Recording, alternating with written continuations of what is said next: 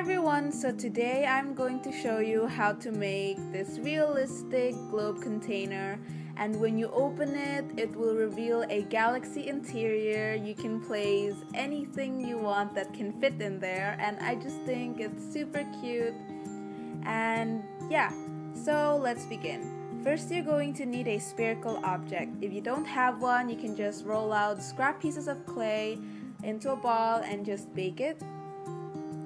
Then you're just going to cover your ball with some cornstarch and then roll out some blue clay.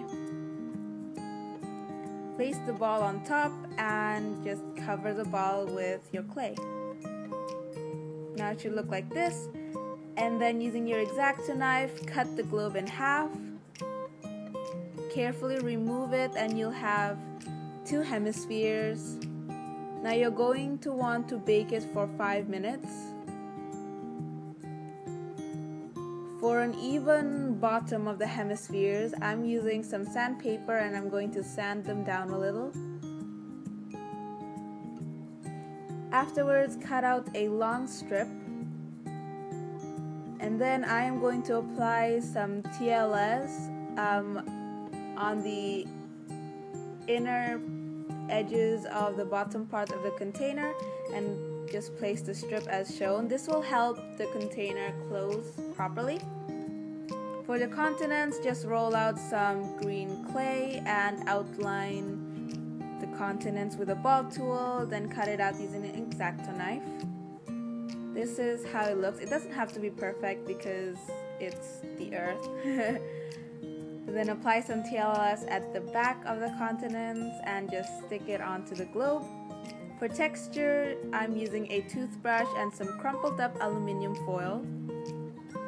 Afterwards, just cut out the globe in half. Then it should look like this.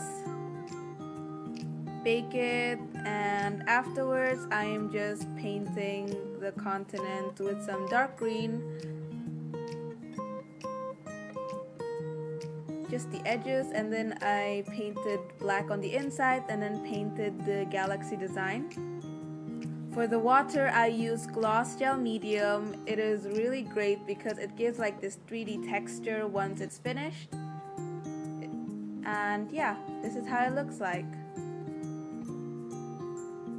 So for finishing touches, you're just going to want to glaze your creation and I hope you guys enjoyed the tutorial. Check out my social medias and if you guys made anything from my tutorials, feel free to use hashtag PieBieW for me to see your creations. Bye!